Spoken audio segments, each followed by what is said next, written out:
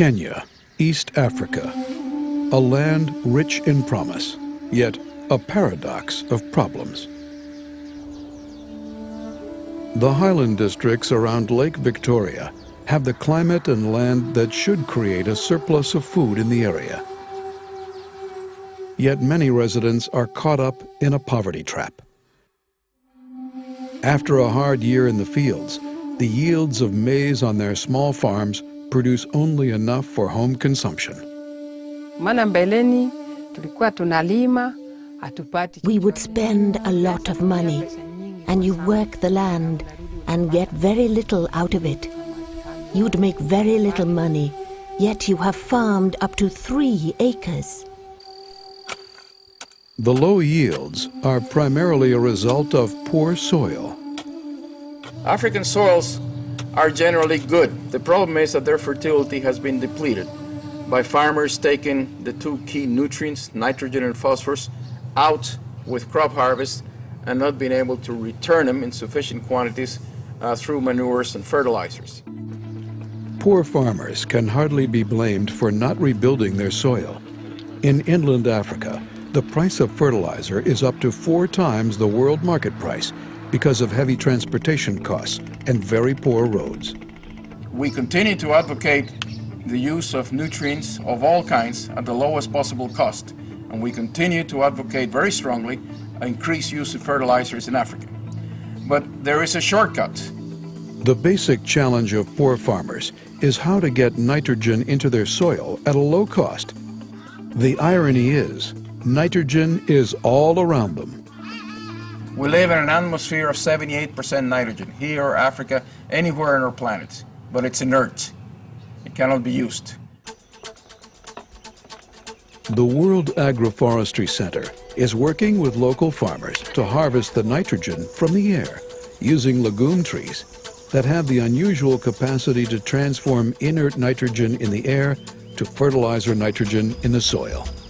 Trees like Tephrosia, Sesbania, Crotalaria, and Calliandra are planted in and around fields and grow extremely well, even in the dry season after the corn is harvested. They have very deep roots, so they can tap water from places that crops cannot. And they grow very fast and really become nitrogen fertilizer factories, grabbing the nitrogen from the air. After a year or two years, depending where you are in Africa, they can add to the soil 100 to 200 kilos of nitrogen per hectare, which is the level of fertilizer used by maize farmers in Europe and the United States and developed countries but they got it right there from the air at zero transportation cost. Compared to farms with depleted soil, these trees make a significant difference. Before, we used to plant maize or beans and get very little produce. But now, from one acre, you can get up to 15 bags of maize. You can't consume 15 bags. You sell some of it to get money you can use on your farm, or pay school fees, and even buy yourself some clothes to wear. Some farmers are also using nutrient accumulating plants, like the Mexican sunflower, on the boundaries of their farms that are especially helpful in high value crops. This plant here is known as Tithonia diversifolia. The plant is rich in uh, those nutrients that most of the tropical soils are degraded in. And these include nitrogen, potassium, magnesium, calcium, etc. About three or four times a year, they can cut it and apply to their crops. It has been proved that it is especially useful in the production of high value crops like vegetables, tomatoes, etc. Eh, nilianza kazi yangu ya ukulima eh, kama mwananchi wa kawaida. For a long time, I was farming this land, eh, but it was not producing much. Eh, vile nilianza, nilikuwa sina It wasn't until the scientists from the World Agroforestry Center worked with us to improve our farming practices that things began to improve. kutoka kwa hawa maofisa wangu ICRAF. Once a farmer has achieved basic food security for their family, they can begin to invest time and money into these higher value crops and even livestock. An added benefit of these nitrogen-rich plants like Calliandra is they provide an abundant source of biomass for feeding cows. What we are trying to do is to look at how we can improve the quality of uh, the livestock feed. And we are using the fodder trees, this is Calliandra, Leucaena, and Mulberry, to bridge the protein gap. Uh, these trees are drought tolerant, so during the dry period, they still can produce the biomass, and um, uh, that means the farmers will continue producing milk. Having cows on the farm is good. The manure from the cow makes compost for the farm. You can get milk and cream, and I can sell these for profit. The new income spreads throughout the whole community and has a profound effect on the quality of community life. Monica is secure enough in her income that she has adopted two children, orphans of the AIDS epidemic, and provides them with funds and food to get a proper education in the local schools. The schools, in return, are developing a program to provide a local market for area farmers.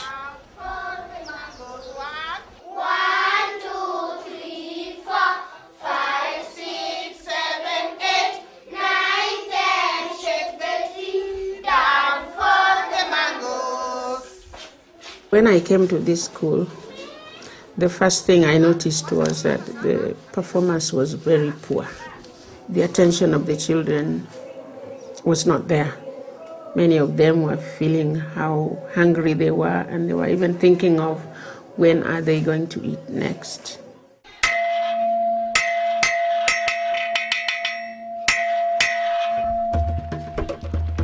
Realizing that the children must eat at least one good meal a day, the school began a lunch program in which the food was supplied by local farms. The effect on the individual child was quickly evident. Very soon you see a very big change in this child. He brightens up, he becomes very active, he participates in class, outside in the co-curricular activities. Because of the feeding program, uh, it didn't only benefit the children, it has also benefited the farmers. They now know that, uh, uh, okay, they'll grow more and uh, some of it they'll bring to school. Kwanza tuseme village yangu hii tuko na kazi. We have good work that gives us a chance to be independent. It is hard work. We work from morning to evening.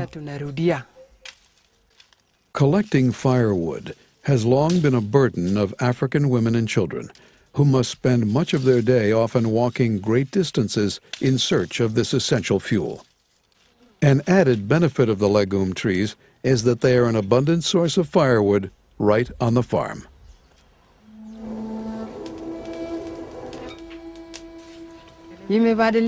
My life has changed. It's good. We don't sleep hungry anymore, and the food makes you strong with nutrients. And you can even see the children getting healthy and gaining weight.